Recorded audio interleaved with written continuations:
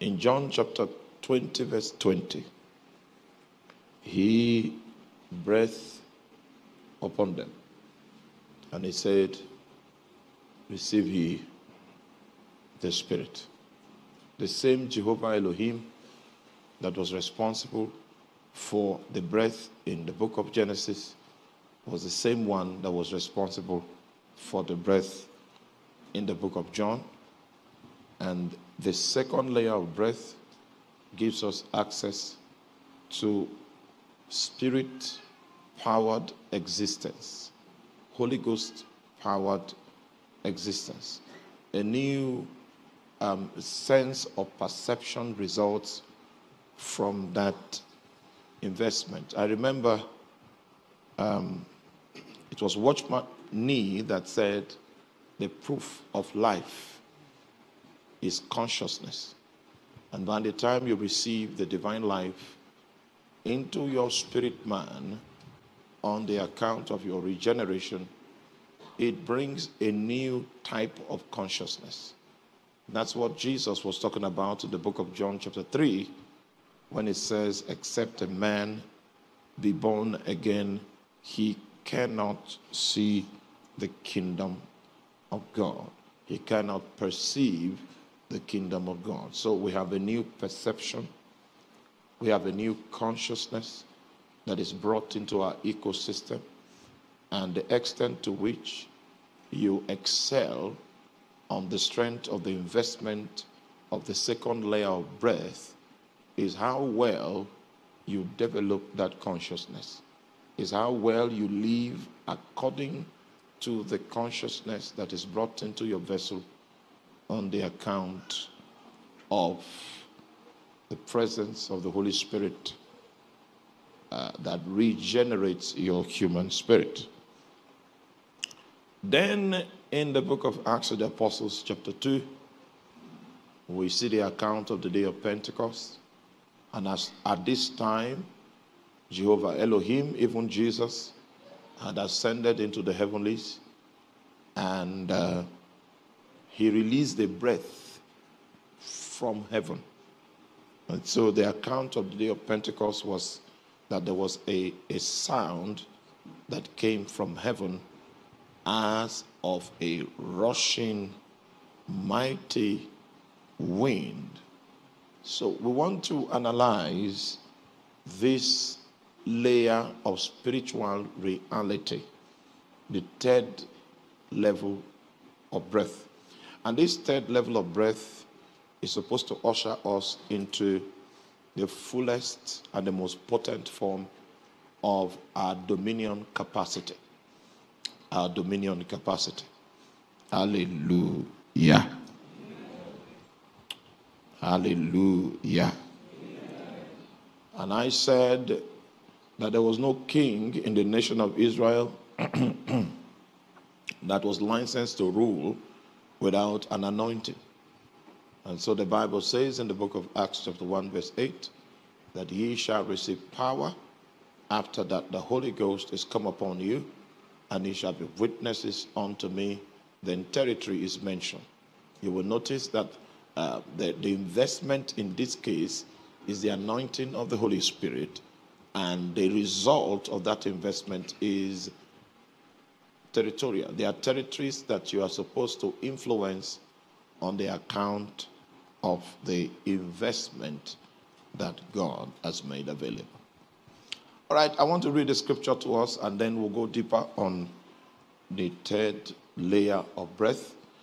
And uh, I trust God for utterance to be able to communicate the mind of God. First Peter chapter 1 beginning from verse number 9 receiving the end of your faith, even the salvation of your souls, of which salvation the prophets have inquired and searched diligently, who prophesied of the grace that should come to you, searching what or what manner of time the Spirit of Christ, which was in them, did signify when it testified beforehand the sufferings of Christ and the glory that should follow. Unto whom it was revealed that not unto themselves but unto us they did minister the things which are now reported unto you by them which have preached the gospel unto you with the Holy Ghost sent down from heaven, which things the angels desire to look into.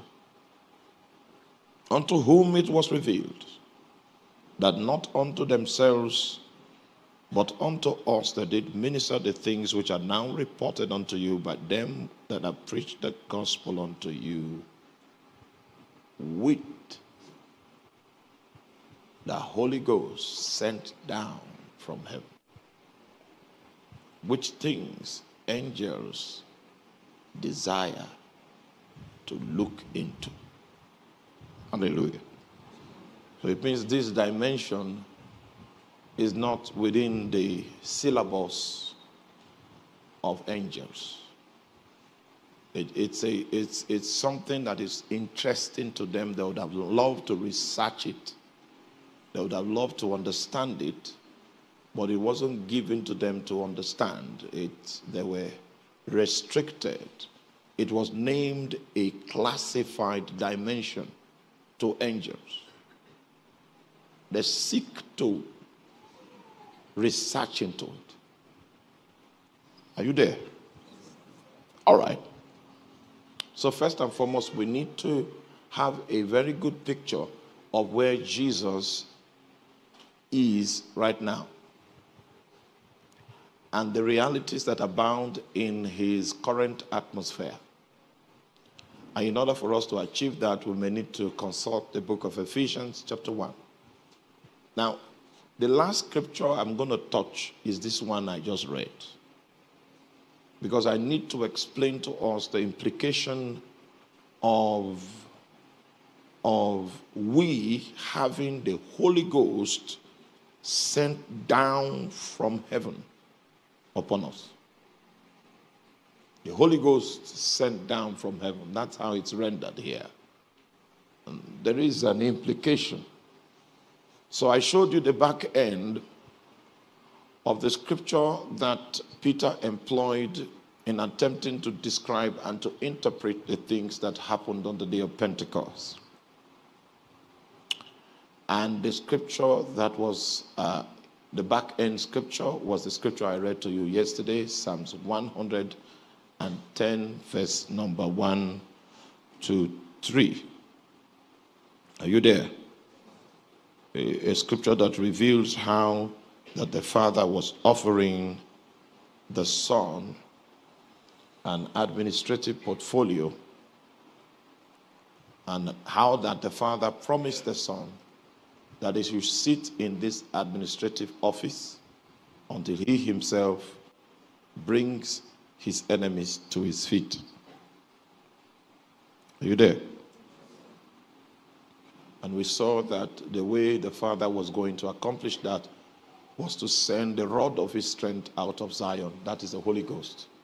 The Holy Ghost will have to leave Zion, God's administrative headquarters, and come to become operational in the earth. It is the experience of the receipt of the Holy Ghost in the earth that was spoken about in the book of First Peter, chapter 1, verse 12. Are you with me? Okay. Um, turn your Bible quickly to Ephesians. I just have one hour to do this business. So I hope to do it well. Ephesians chapter 1.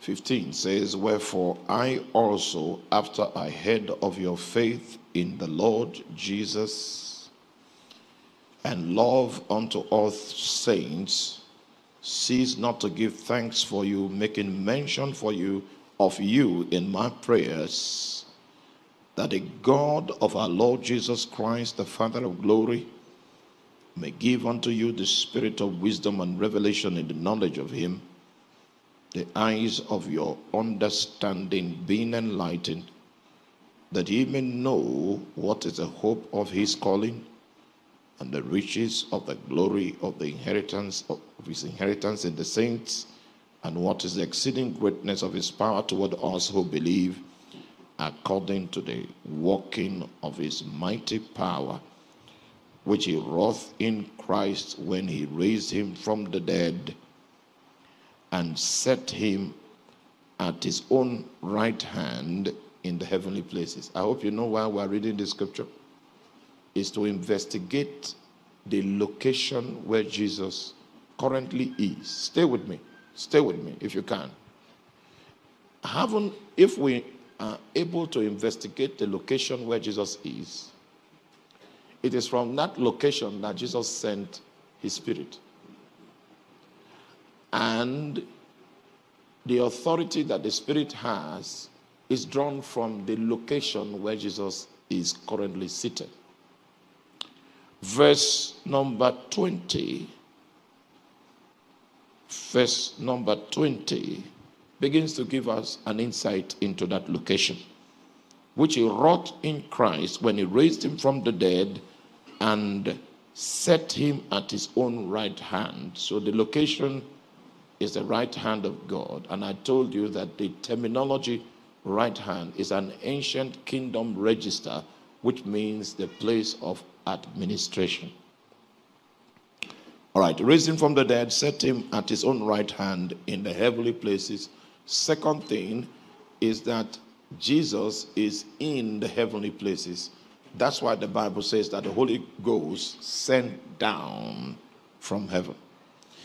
Uh, verse 21 says, This place is far above all principality and power and might and dominion and every name that is named, not only in this world, but also in that which is to come. Now, are you there? Now, I would like you to read verse 22 and meditate on it to see if it sounds familiar.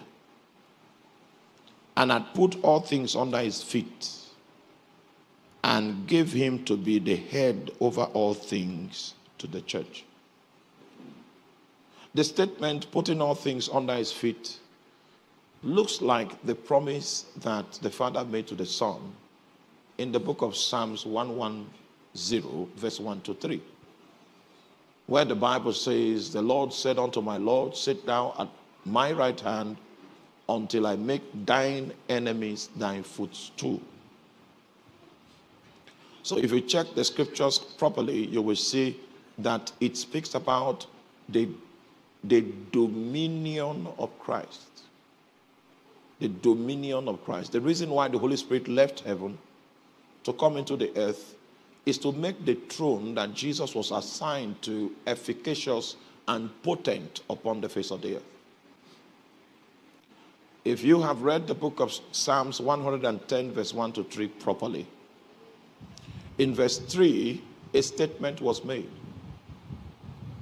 Psalms 110, verse 3, it says, Thy people shall be willing in the day of thy power. see, when the Holy Spirit left heaven, are you there? He left heaven with a mandate because the environment from whence he left is an environment of government. The environment from whence he left is an environment of established kingdom order. The environment from whence he left, his authority was not being contested because the place in which he is domiciled is far above principalities and powers.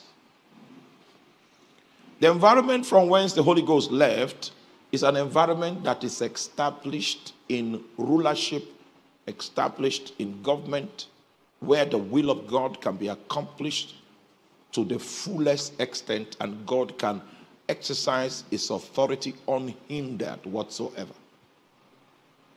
That's the environment from whence the Holy Spirit left.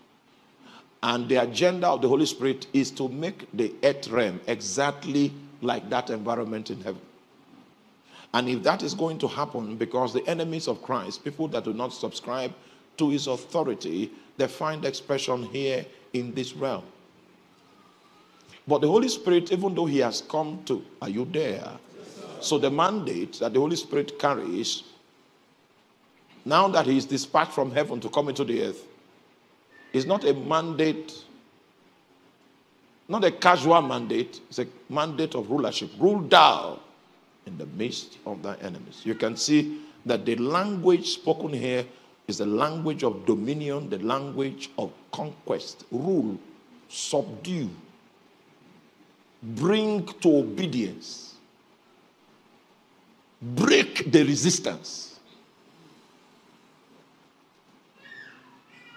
Huh?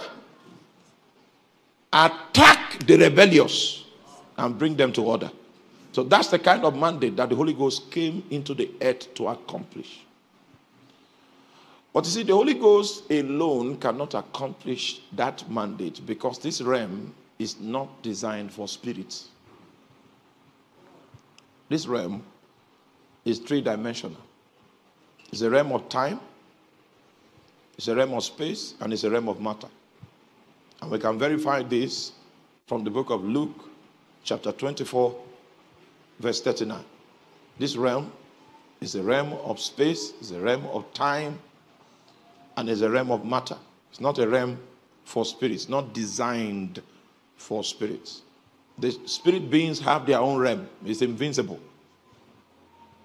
Just like we have we have roads here and infrastructure that makes three-dimensional life easy, makes it comfortable, makes it walkable.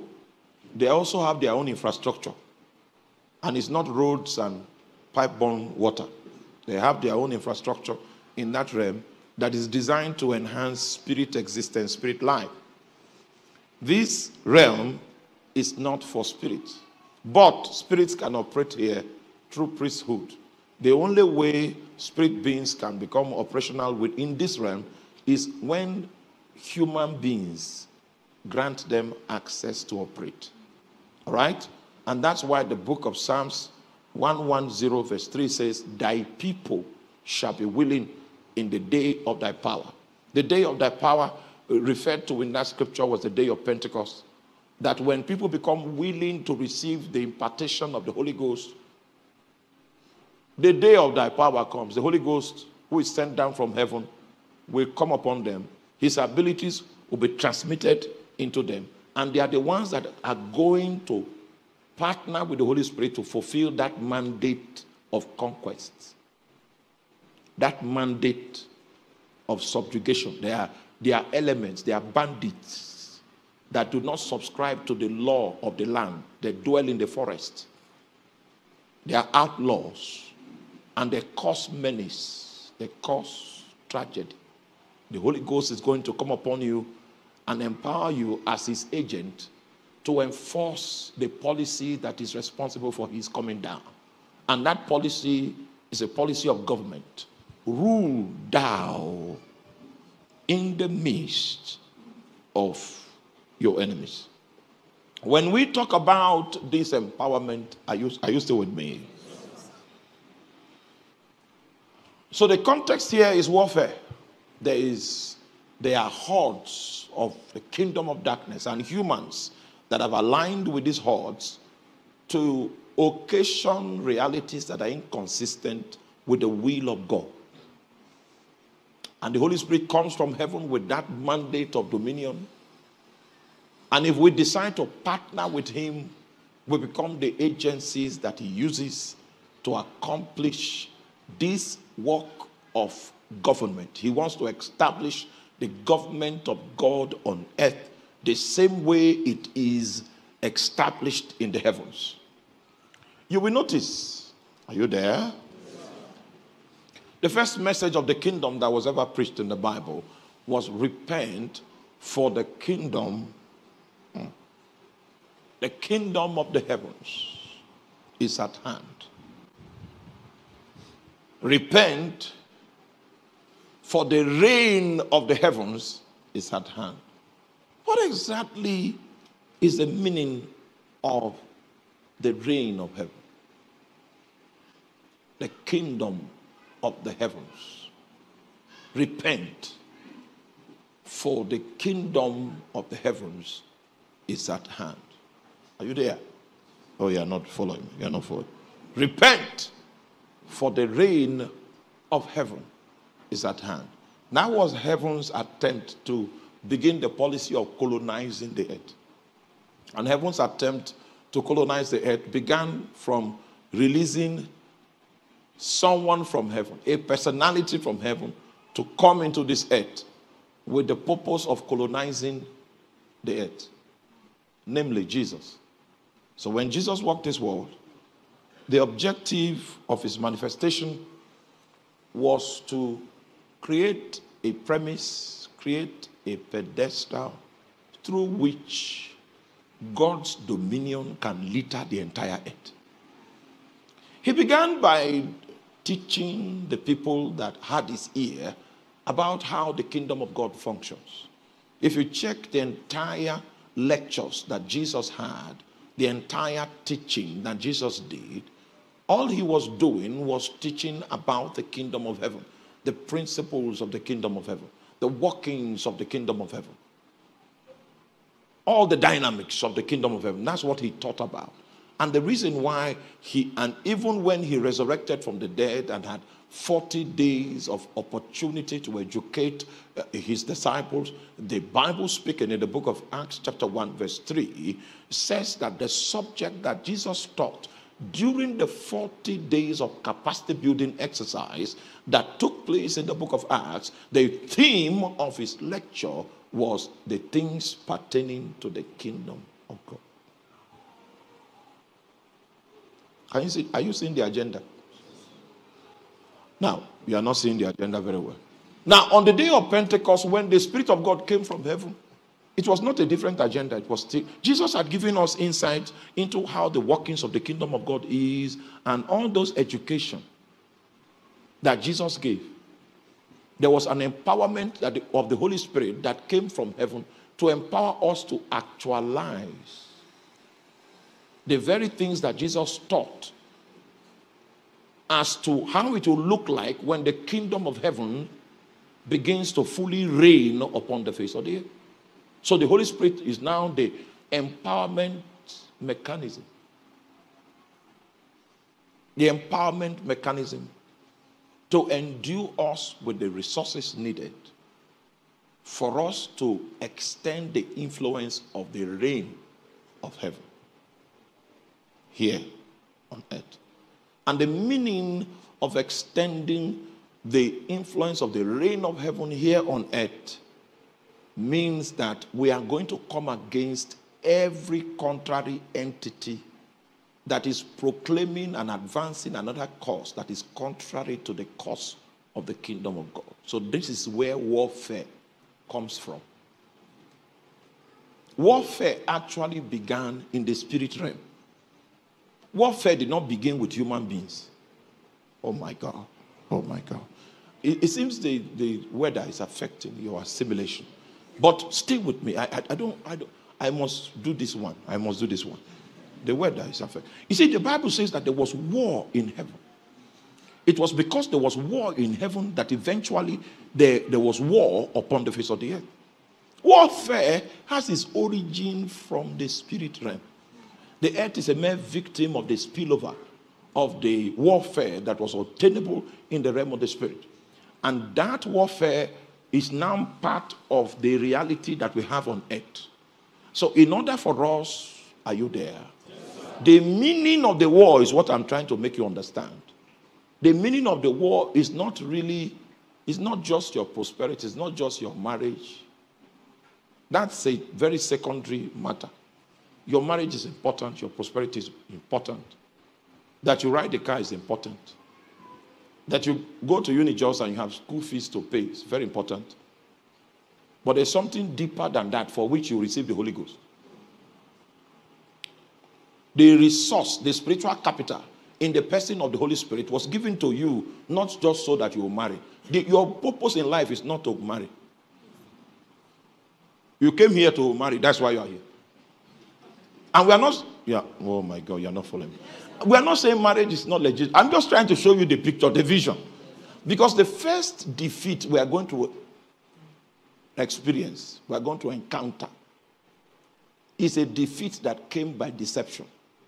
Where you are looking at the wrong things, you have a wrong goal, you are pursuing the wrong things. Even in ministry, a ministry can be set up, and if the conceptualization is not adequately determined, all the resources will be deployed in the wrong direction. And because once and again, the people still say Jesus, and somebody can get born again in that atmosphere, the Lord will still keep it running. It's not as if they are doing anything that is serious. Are you there? Yes, somebody can still be born again there, so he can keep it running. He can fund it. He can release money for them to buy fuel, diesel in generator to keep the thing going because there is a hope that at least somebody can stumble into salvation from their effort. But the goal, are you there?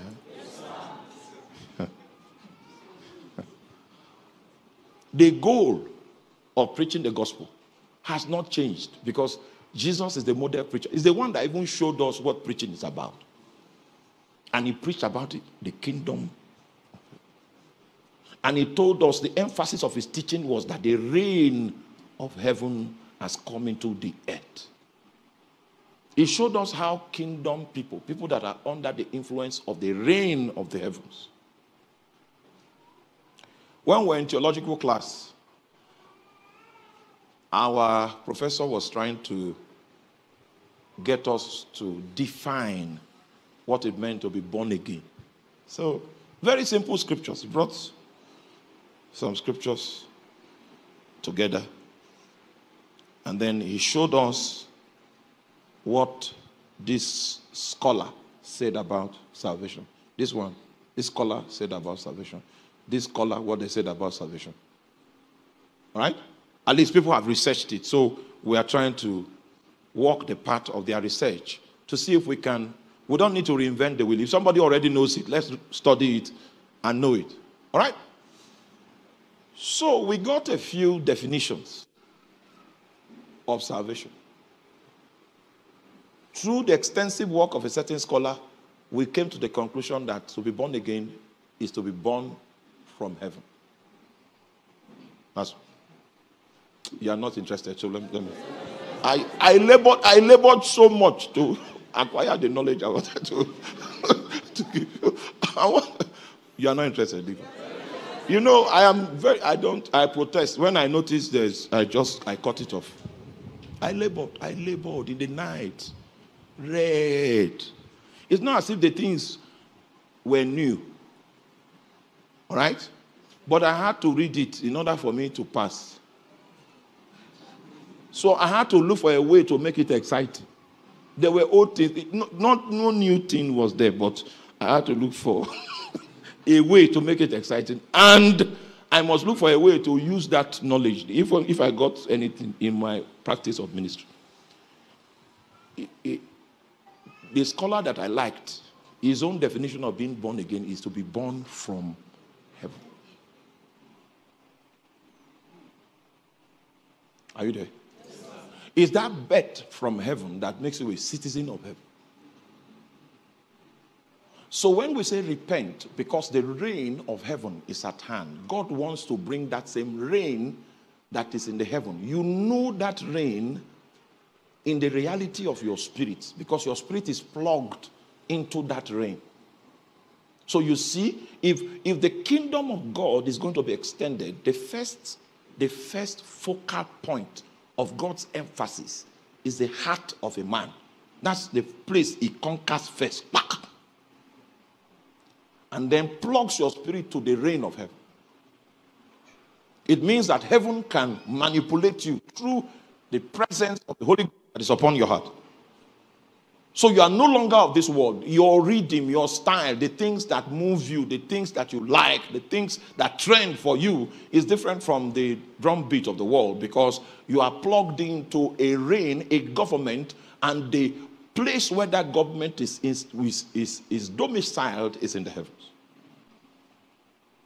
That's why you are only an ambassador here, but you are a citizen of heaven. What the devil does is that he gets you confused and then he, he makes you define your existence on the strength of the things that are trending in your generation, even though you are of heaven, but you operate like the earth. If you operate that way, you will not have the ability to challenge the things that are seeking to undermine the kingdom that you represent. If the eyes of the average believer can be opened to see that the context we have found ourselves in is a context of war, and service to God will require that will extend the frontiers of the kingdom of God, the influence of the kingdom of God through the, the power of the Holy Ghost that is upon our lives. That's the orientation that we That is the goal of our not being raptured after we give our life to Christ, so that we can partner with the Holy Spirit to extend the influence of the reign of heaven. See, this is how God does it. God will conquer a man first. Are you there? Conquers a man. After conquering you, you are under the influence of the governor of the heavens, who happens to be the Holy Spirit. It is what he says you do, where he leads you go. It is what he wants that you choose. Are you there? Then he takes you he now puts you in custom, Nigerian custom service. You're not, you're not following. He takes you. He puts you in the prisons, Nigerian prison service. In that Nigerian prison service, you will see people that came with Ogugu because the power that they are trying to use to advance their cause in Nigerian prison service is from is from Enugu Ezike.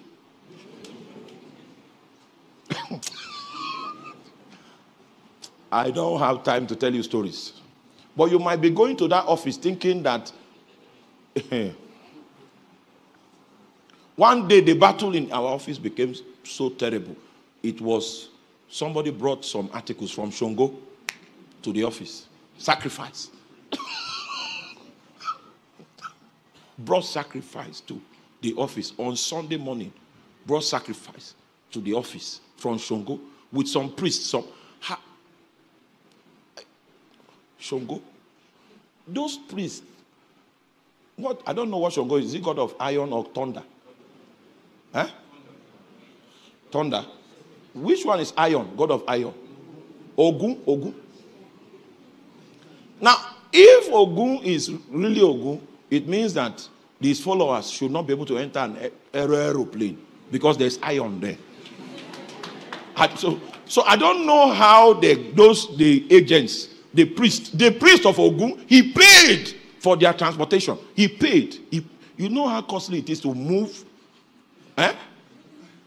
an Ogun. he moved him, came to the office, and they were doing the incantation. So somebody forgot a key in the office and he went to pick it that Sunday morning. Then he met Ogun people there. The, the, the Ogun priest, they called him. They say, if this thing leaks, he will just get lost. That is, you, you will, he will be lost. In Abuja, he will just be moving like this and you'll find out.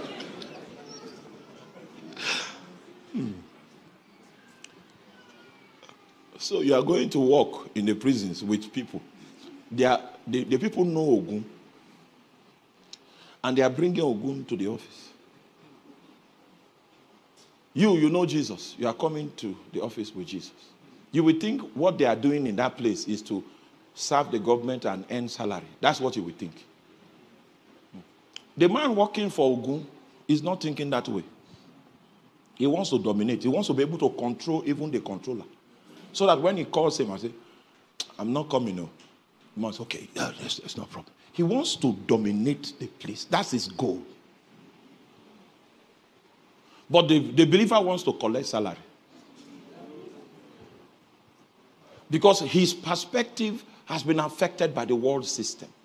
He no longer knows that he's a sent one that is designed and empowered to bring the reign of heaven into his locality to bring the rain of heaven into your family, to bring the rain of heaven into your business. You say you are running a business, you have not set up an altar there.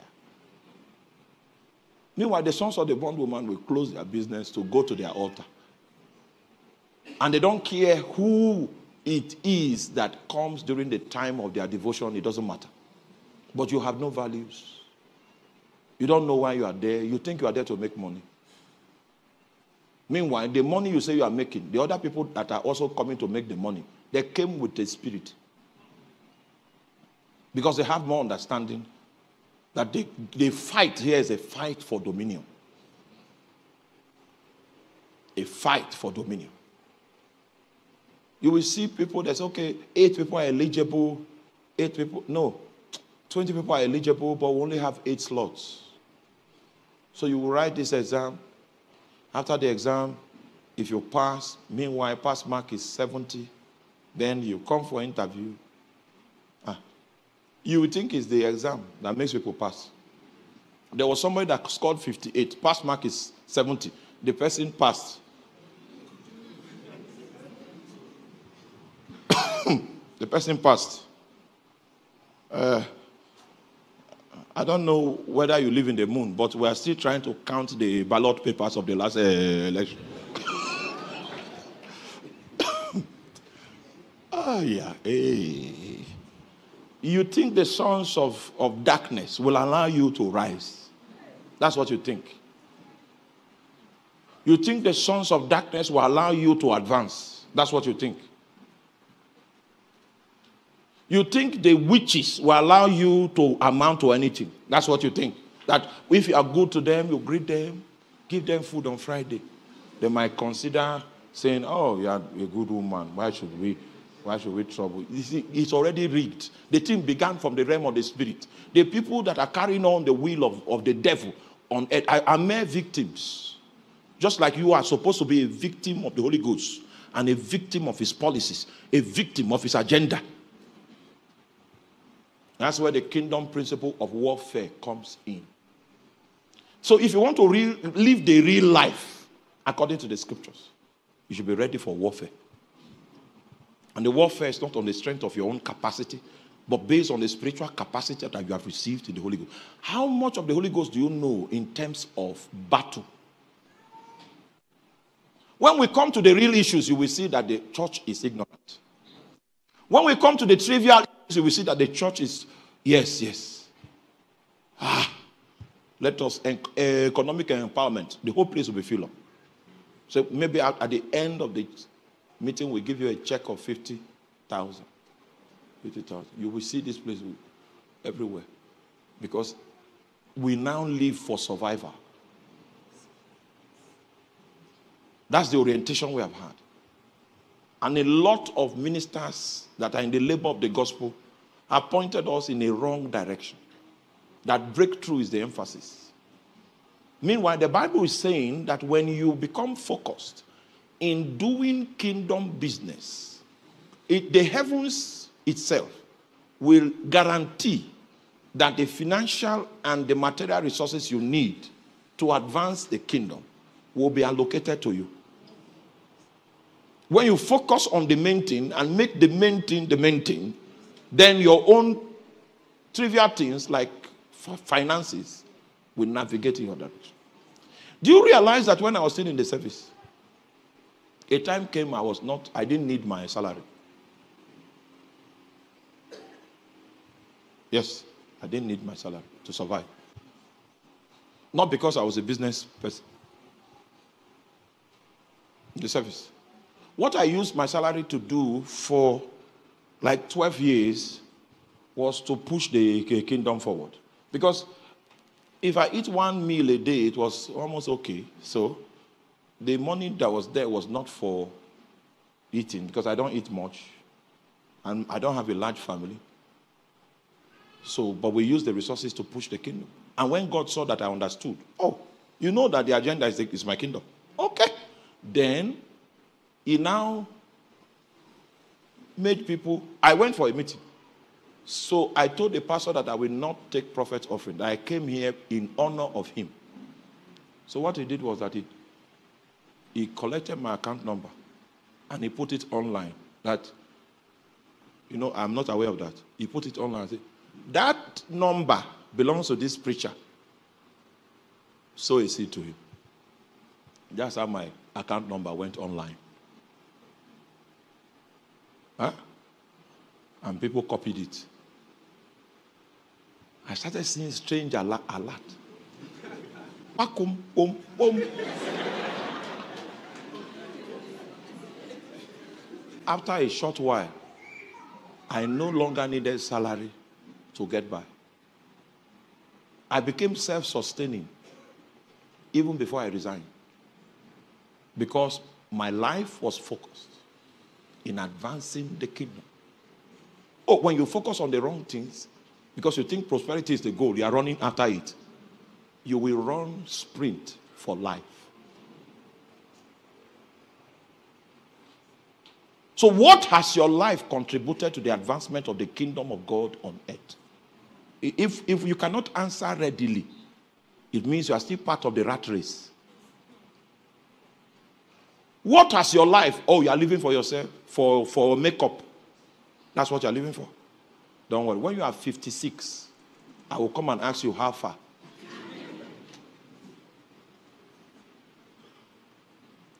the Lord shall send the rod of thy strength out of Zion. The Holy Ghost, the very Holy Ghost, had to leave heaven because of this policy to come into the earth to provide empowerment so that we can become his foot soldiers, his infantry, to extend his influence.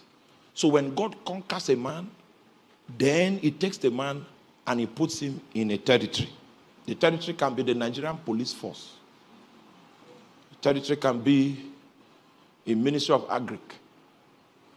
The territory can be local government administration. And what is expected is for his influence on your life to influence other people. So when they begin to arrange for bribe, even though your salary is not much, but your conviction is deeper than your desire for money, you tell them, I'm not interested in this.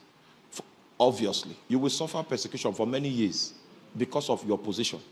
If they now see that you are unreasonably committed to this your conviction and it is now impossible to get you to change your mind on the matter are you there they put you in your own category say live now it means that you have proven that not everybody is living for bribe for more money ah you may not know that your conviction has registered some things on people's heart and because of that there are questions and that question now makes the person's heart a fertile ground for the gospel to thrive. You will discover that the evangelist that preached, that he eventually responded to God, is not the one that the credit of the man's conversion is given to.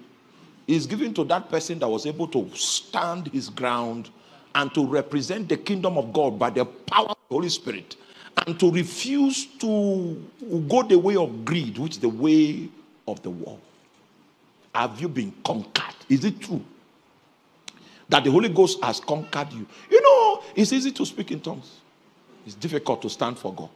And it's more difficult to stand for God at the expense of your life. But there were people, our ancestors, people that went before us. The Bible says, eh, they did not accept deliverance. That means they were, they were sentenced to death and given the option of life if they if they deny Jesus. And the Bible says, not accepting deliverance. That's the Christianity of those days today. Today, people that even preach the gospel have been able to conveniently smuggle in the fact that immorality is allowed. That's our creed now.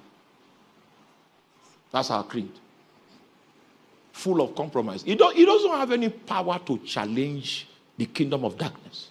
We may not be many, but we will not change. Yes, we will not change.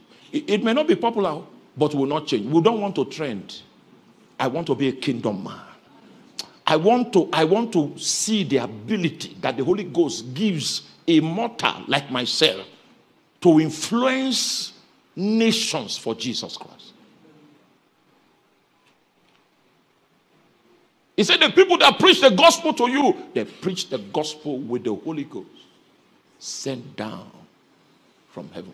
They were not naked, they were galvanized.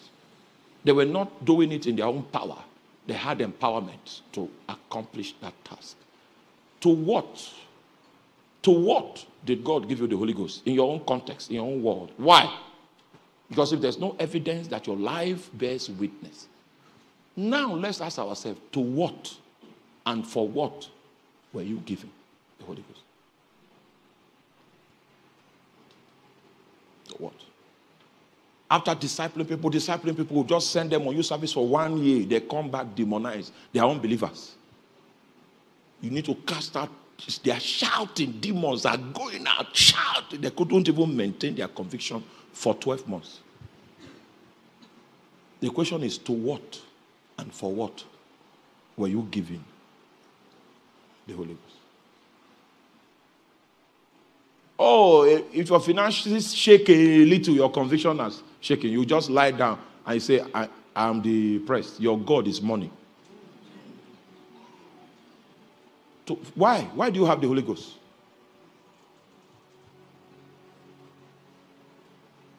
When you don't have the boldness to be able to say to Nebuchadnezzar, We are not careful to answer you in this matter. In other matters, we will tremble as we answer you. But in this matter,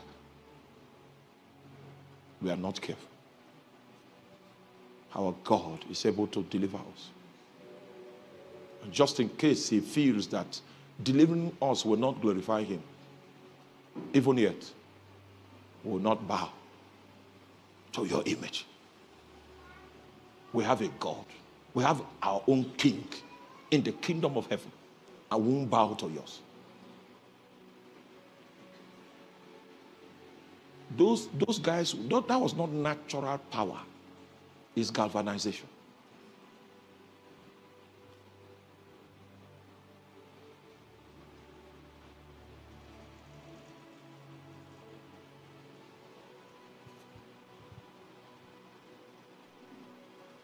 The ones that speak for Satan, the ones that speak for the kingdom of darkness, they are diligent.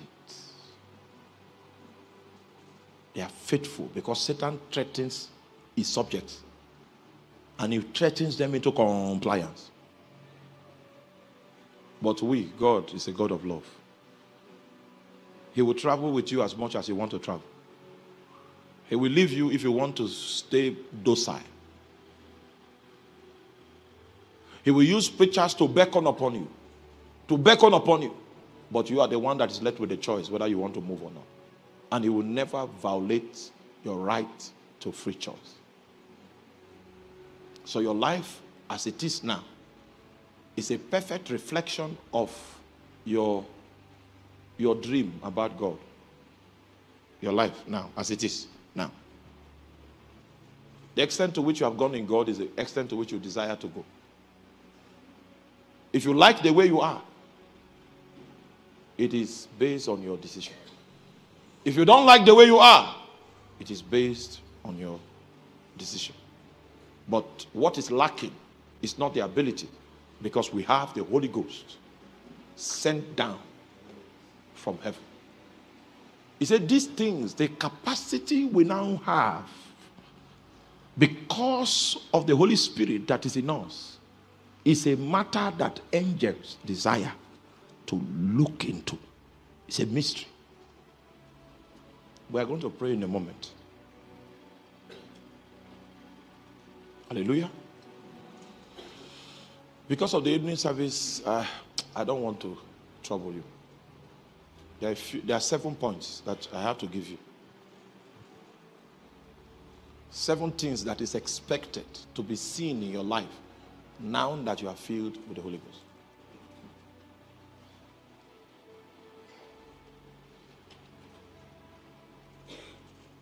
I'll give you two.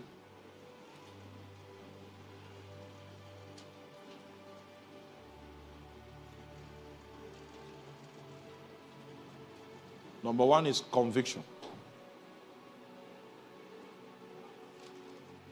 A conviction that runs deep, so deep, so deep that you can defy any power. A conviction that runs so deep that you are willing to accept hurt in order to stay aligned with God. Whenever you see a man of conviction, it means that man knows the Holy Spirit. If you, if you can't break him, he's rooted, he's grounded. He sees his life and his conviction as one. You cannot separate him from his conviction. If you want him to stop the way of his conviction, then you need to take his life. When you see that rugged conviction, nothing can shake it, nothing can bend it. Even when you tie him to the stake, his confession does not change. That is a proof that his life is stronger than the flesh and bone that you see. The convictions run deep. They run deep because it does business in deep waters. We have a generation that lacks conviction. And that's why we need to question the Holy Ghost that we received. We need to question it. We need to question it. Have you received the Holy Ghost since you believed? Because our ancestors modeled a life that was heavy on conviction as a sign that it was not by power, it was not by might, but it was by the Spirit of God. Are you there? Number two, evidence that you have met the Holy Spirit bountifully is that you are no longer subject to manipulation. Only people that are weak in the spirit can be manipulated. They do an enchantment over you and it begins to work. Eh, hallelujah. It's a sign that you are still weak in the units of the spirit. There is only one that is given the license to manipulate you, and he's called Holy Ghost. If other things can manipulate you, it means that your destiny is not guaranteed. You can be swayed off, you can be resisted, you can be stopped. A man that is deep in the Holy Spirit cannot be manipulated. No. Your end point is sure because there's only one driving force that is propelling your life in one direction. I was, I was telling my brother Gideon, he's a dear brother to me. I went for US visa interview. And when they checked us in, screened us, we went through the security post and came into the open floor. You know what? The tension. Do you know what? You see, the tension that was in that room, there was no way you could deny that you were insulated from it. The tension. It is that day I believe that when your soul is active, it's actually transmitting frequencies. Yeah. Is that there? I believe it. When your soul is troubled, is There, there was a household of tension that was. But you know what? Before we came into that tension, we had prayed in tongues, had soared in the spirit.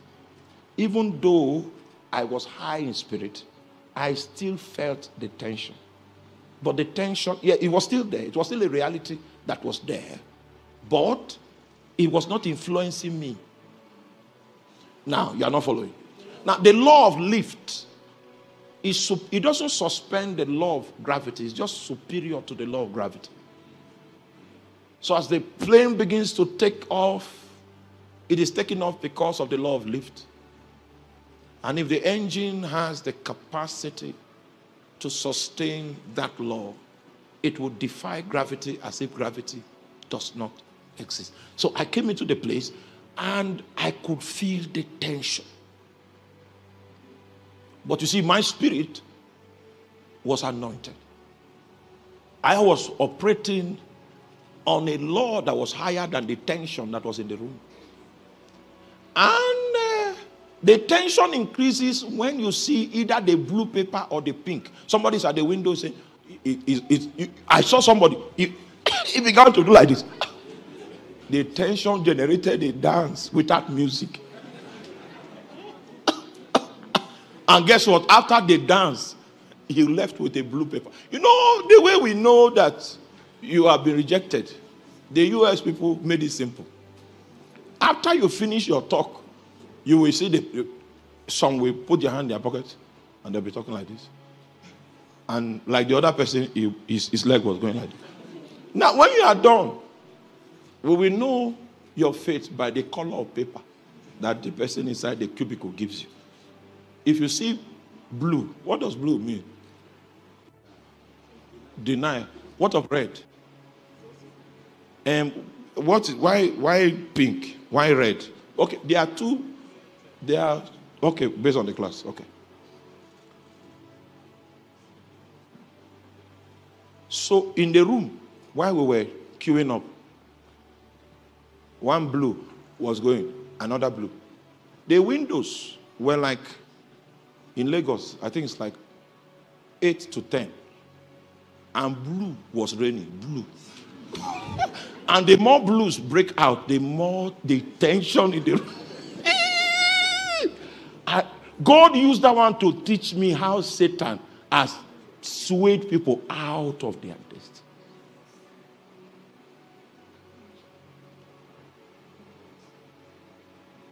It was intense. It was intense. And so, because we went with my small daughter, they said, No, no, no.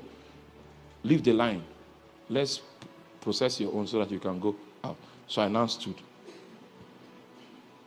close to the window. So I was able to hear the discussion this time. The, the man there said he, he wants to go to Disneyland. That was his.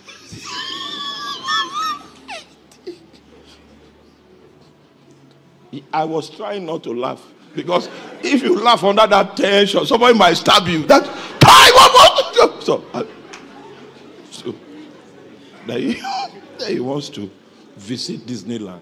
So the guy in the cubicle now asked him, have you paid for hotel reservation? This he said, Yeah, he's paid. The guy now viewed it. He didn't know that they could see everything. The hotel he paid for, he only paid to stay there for three hours. so they, the man said, From what I'm seeing here, you only book for three hours. I'm confused now. So the guy, that was when I did.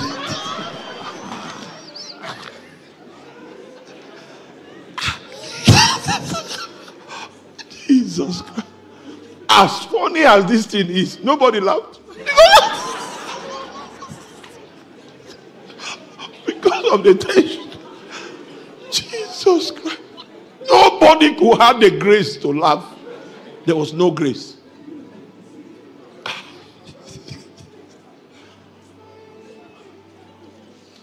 so there were two windows there that I could access the great one said, Go to the window where this man was rejected, the man that was dancing. Go there. And in 10 minutes, they had given up. You can decide not to be manipulated by going high in the Holy Ghost.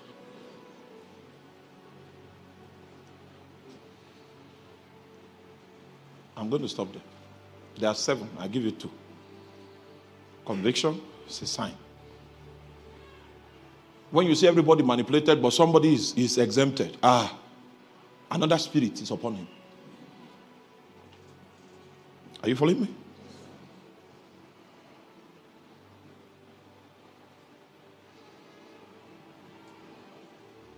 Number three, the man that has a relationship with the Holy Ghost can see possibility in the midst of stark impossibility.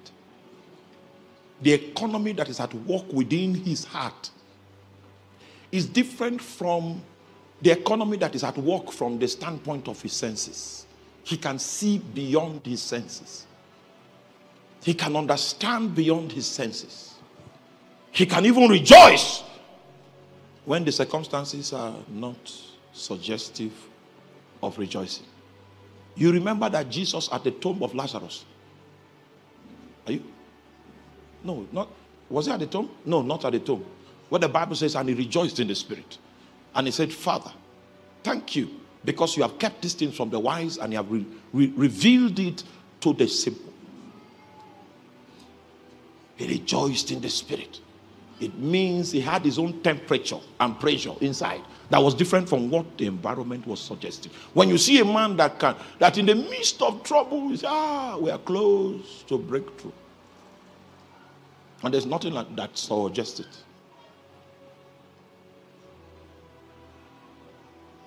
He's receiving from another transmitter.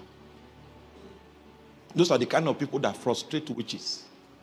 Because the power that witches have can only stir up the environment, they cannot affect the condition of your heart inside. They frustrate witches. The witches are expecting that you should be depressed now. But you come with a laughter, you crack jokes. Because you are living off the atmosphere that is rooted in your spirit. That is a proof that you have met the Holy Ghost. So you don't operate by the temperature, you don't operate by the pressure of the circumstances you operate by the pressure and the temperature of what is going on within you. And it's only the Holy Spirit that can fun- furnish the temperature of faith in your heart. It's the only one that can impart you with faith. Are you there?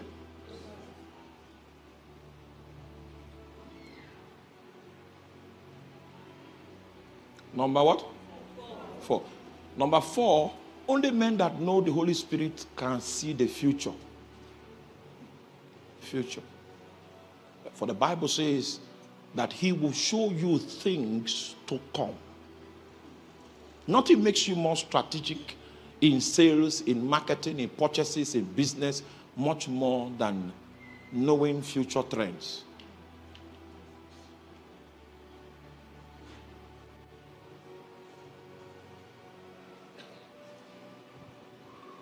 Nothing. We were praying one day, and then the Holy Ghost now said, That bush there, that bush, go and buy land there. So I went into the bush.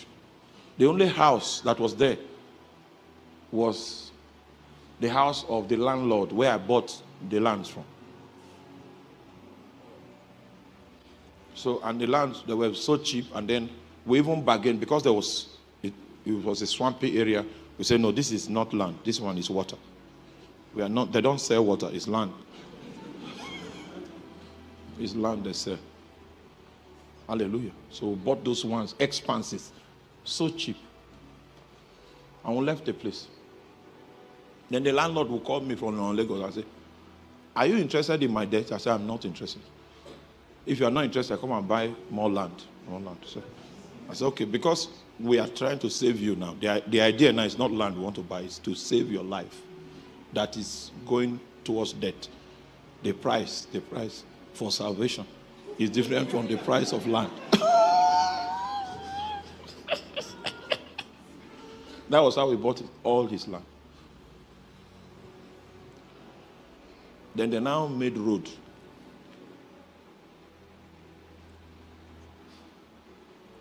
Then the place became 4 million. What was, how much was it? 150. And even when it was 4 million, we were not selling because the place became strategic. Hallelujah. Because future trends, it can, it can, you don't need to go to Harvard. People that I, I know people, some people in Harvard that are poor. They, they went, they got certificate of, of dexterity in, in business, but they are still struggling. What the Bible says it will show you things to come. It will show you things to come.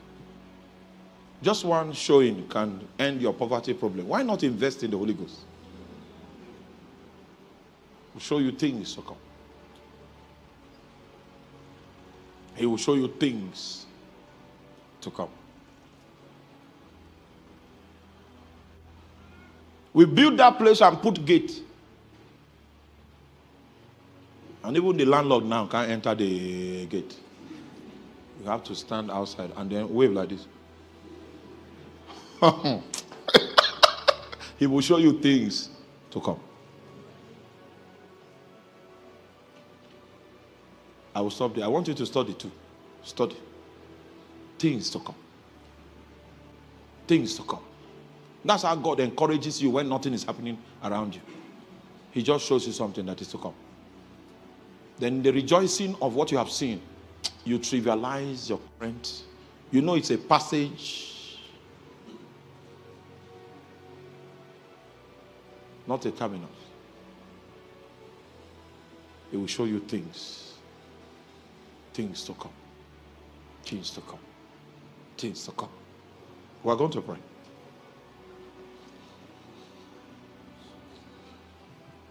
He wants to extend the frontiers of his kingdom. That's why he gave us the Holy Ghost. He wants to bring the rain of heaven upon the face of the earth. That's why He gave us the Holy Ghost. He wants to subdue the enemies of Christ in our generation and the witches that plunder the destinies of men in your family. That's why He gave us the Holy Ghost. He wants to strengthen us with might by His Spirit in our inner man. That's why He gave us the Holy Ghost. Oh, he wants to make the weak strong, wants to make the poor rich. He wants to make the cursed blessed. That's why he gave the Holy Ghost. Hey. He wants to empower so that we can cause the armies of the aliens to turn backward. That's why he gave us the Holy Ghost, sent down from heaven to establish the reign of heaven upon the face of the earth. Oh my God. Oh my God. Oh my God. So the question is Have you received the Holy Ghost since you believed? Is it true that is the Holy Ghost you received? That you have the giants around your life are not yet falling. There's no evidence that you have extra power beyond your your your mental strength and your biceps. Father, Strengthen us. Take us beyond this docile level. Take us beyond this docile level. Take us into the heights of empowerment. Let the sons of Anak fall. Someone needs to cry desperately for himself, cry desperately for his soul, cry desperately for his life, cry desperately for his life. Hey! Kidobokos igobelahaya. Linko Preski, are you a victim of manipulation? Oh my, oh my. What you need is another measure of his spirit, another measure of his spirit. Not everyone can be manipulated.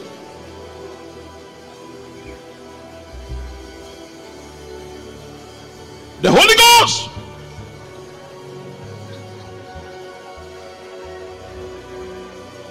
the Holy Ghost. Sheliko presko filandele. Mantekuzi abrahatala. Mobreheske kombeheza ikobre. Mahaiskopila asketo benda. You can perform more than this. You can become greater than this. You can become stronger than this.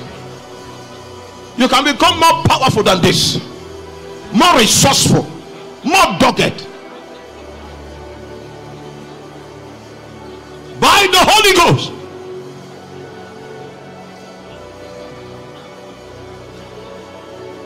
Sent down from heaven. bonde. Naiko braskito balakandeli. Zemonte sikopramina suken laite. Bunda askito brokoto minakante. Robinan sonde eske tamandolia. Biga bakose katali mondeli. Zemina ikopraske tomina kantela. Mombre heska tubra halakadia. Jaminantoske fatabo. Roba shike. Mahais kompalane.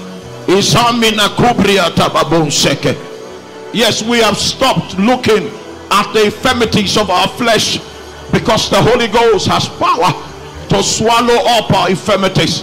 The Bible says that it is the Spirit, it is the Spirit that helpeth our infirmities. For we know not what we shall pray as we ought, but the Spirit Himself. He maketh intercession for the saints in groanings that cannot be altered. You can go beyond the weariness. You can go beyond the insufficiency. You can enter into might. You can enter into capacity. If you know the Holy Ghost, you cannot fail. No, you cannot fail. Men fail,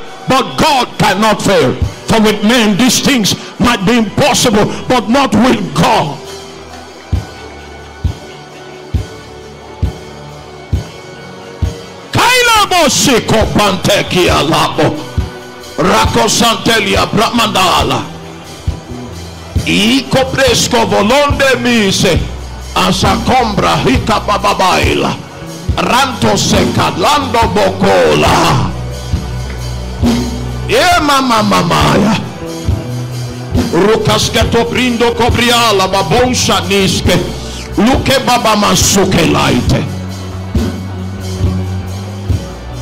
Labroskote masiko bramanaita. Kofoske de brenta mako de brusia. Ila braske tobe nakade da danso preskede.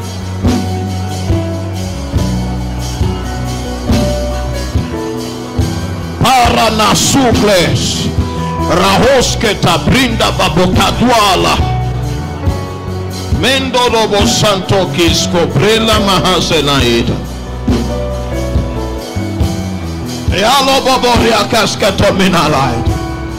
you can surmount that infirmity you can surmount that weakness you can fly with wings like the eagles you can go beyond the manipulation.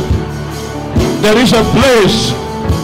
There is a place in God where you will find rest. You can go beyond the confusion to the place where you can hear the still small voice. With men, these things might be impossible, but not with God. For with God, all things are possible.